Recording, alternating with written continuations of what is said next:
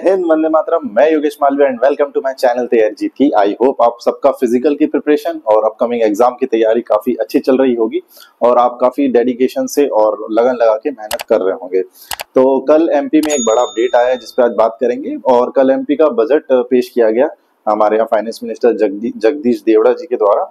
तो उसमें जो रोज़गार की बात करें तो हम लोग आज उसी पे बात करेंगे कि उसमें क्या इंपॉर्टेंट पॉइंट्स है और जिससे अपकमिंग जो भी तैयारी कर रहे हैं एमपी पुलिस और एमपीएसआई की, उनके लिए क्या खबर है।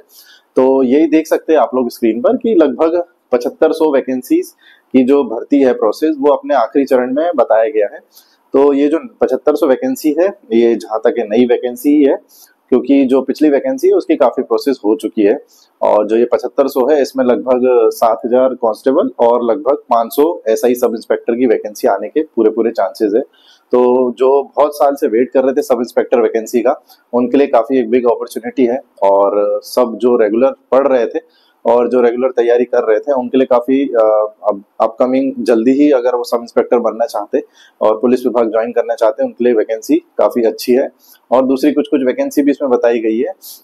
टीचरों की काफ़ी सारी वैकेंसीज आने वाली है और कुछ आईटीआई ओपन होने वाले नए। और जो भी आप एग्ज़ाम फॉर्म फिल करते हो, सरकारी फॉर्म फिल करते हो कोई भी तो उसकी जो फ़ीस है वो भी लेस करने की बात कही गई है। तो ये छोटे छोटे कुछ पॉइंट है बट मेन इंपॉर्टेंट हमारे लिए है जो है पचहत्तर पचहत्तर सौ सेवेंटी फाइव हंड्रेड वैकेंसी जो कि पुलिस में अपकमिंग आने वाली है। तो जिनका भी अभी बहुत बड़ी अपॉर्चुनिटी है, जिनका पेपर नहीं निकला था इस बार, वो अपनी थोड़ी प्रिपरेशन अब अच्छे से करिए तो ताकि इस बार आपके नंबर कम ना रहे।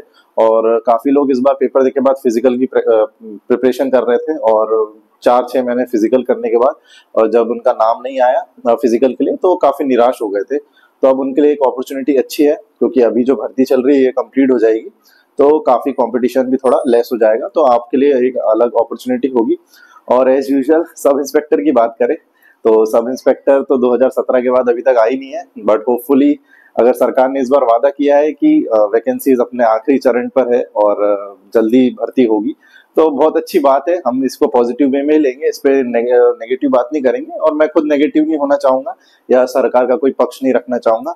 एज अ बींग एस्पिरेंट और आप लोगों के नज़रिए से मैं यही बोलना चाहूँगा कि अगर कोई पॉजिटिव बात आ रही है तो हमको ज़रूर उसको शेयर करना है और अगर ये वैकेंसी आ रही है साढ़े सात हज़ार पुलिस विभाग में तो बहुत अच्छी एक, अच्छी न्यूज़ है पॉजिटिव वे है, जिनका नहीं हुआ उनके लिए भी और अगर किसी कारणवश इसमें अगर इस फ़िज़िकल के बाद जो मेरिट में अगर आउट हो गए और वो अगर रह जाए तो उनके लिए भी कंटिन्यूटी में फ़िज़िकल के साथ साथ पढ़ाई में। तो यही अपडेट था तो काफ़ी अच्छा अपडेट है। आप कंटिन्यू मेहनत करते रहिए तो आपका कोई ना कोई एग्ज़ाम्स में सिलेक्शन होगा। अपकमिंग सारी, बहुत सारी वैकेंसीज है, मैं कंटिन्यू अपडेट करते रहता हूँ। तो ऐसी वीडियो के लिए चैनल को सब्सक्राइब करें वीडियो को शेयर करें। और बहुत लोग वीडियो देखते हैं बट सब्सक्राइब नहीं करते तो चैनल को सब्सक्राइब करें वीडियो को शेयर करें लाइक करें। जय हिंद, वंदे मातरम।